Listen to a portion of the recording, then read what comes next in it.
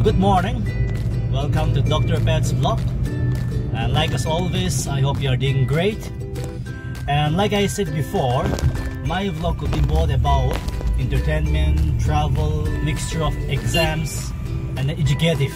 So in this vlog, let's learn something.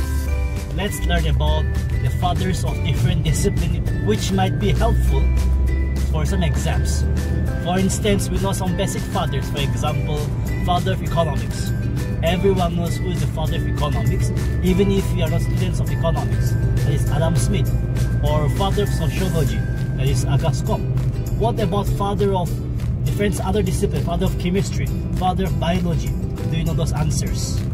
So in this vlog, let's learn about the fathers of different disciplines which might be helpful for our future if we appear any exams.